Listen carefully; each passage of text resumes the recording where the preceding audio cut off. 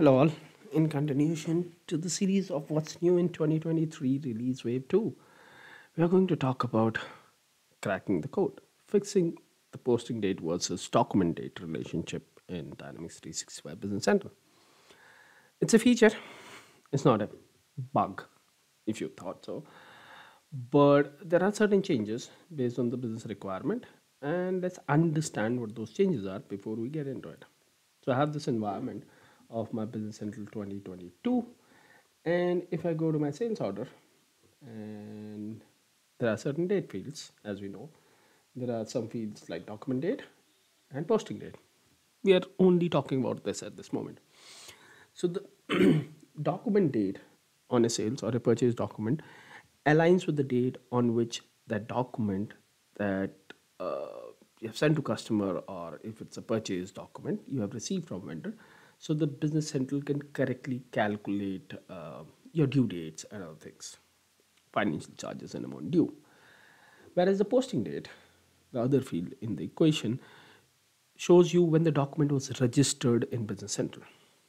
Now till this point till business central 2022 when you change it and let's look at this both the dates are 4 5 2023 if i go back and change this to 4 6 let's say nothing changes here on the posting date but there was a opposite relationship if i change my posting date from 4 5 to a future date or a previous date let's say 4 7 it'll automatically go back and update my document date that was been there for a very long time. People who are coming from NAV would understand this. That was there for a very long time, and this is how it was working till now. But what happens if we try the similar behavior in the newer version, which is Business Central 2023 preview at this moment? So if I try a similar kind of document where there is a document date of 4.3 and a posting date of 4.4, and if I change it to 4.5, what happens? nothing changes on the document date. So, who broke the relationship between the posting date and document date? Let's get into the code that's where the magic is, right? Here's the code when we change the posting date field in my sales header, and the same applies to the purchase documents. when this date gets validated, the document date is changed based on posting date. Now I have a new condition which is sales and receivable setup. There is a field called link doc date to posting date. Now this field, if it is enable, then will validate it, otherwise will not validate it. So let's get back into our system and let's see what that field looks like sales and receivable setup. Somewhere on the general tab, you will see link doc date to posting date. And this field, if enabled, specifies whether the document date changes when the posting date is modified. Sorry, now you'll say that if it has been working for all these years, what's the need of this change?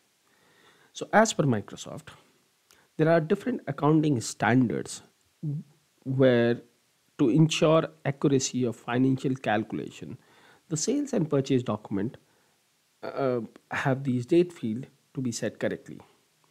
So there are some accounting standard which says that they should be same, the accounting date and the posting date, but there are other other accounting system or practices which suggest that they should be different based on when the document was created versus when the document was registered or posted.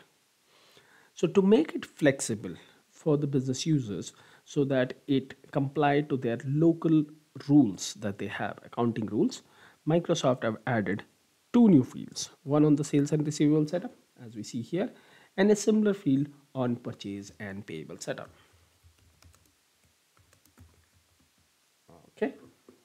on purchase and payable setup. There should also be a field. Let's do show more. Link doc date to posting date with the same intent which will if enable will update your document date when you change posting date or vice versa. Now this setting have no impact if you are only using journals. It only applies if you are using the documents like sales and purchase orders and invoices. Now, remember this that the customers who will be upgrading to Business Central 23 from Business Central 22 or any previous versions of Business Central or Dynamics Nav, for them the default setting will be true because that was the default behavior. But any new customer or any new environment that gets created after the general availability of Business Central 23 will have this flag set to be default to false. So if you are a NAV or a Business Central consultant who works on an implementation team and see this behavior, remember to check your sales and receivable setup or purchase and payable setup to make sure that is that feature enabled or not. So the extension will work as it is and there are events available so that you can control it.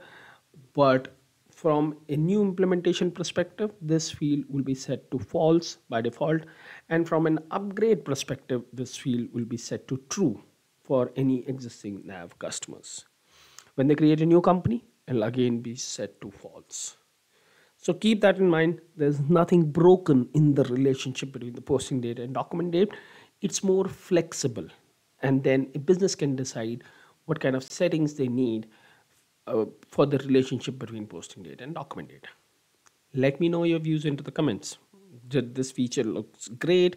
Do you think we are good with the enabled boolean and use as it is? Or there are customers who are asking for it and you might have done a mod for it. I'll be waiting to see your comments into the video and I'll see you sooner than later with the next feature that's being announced in 2023 release wave 2. Thank you. Have a great day.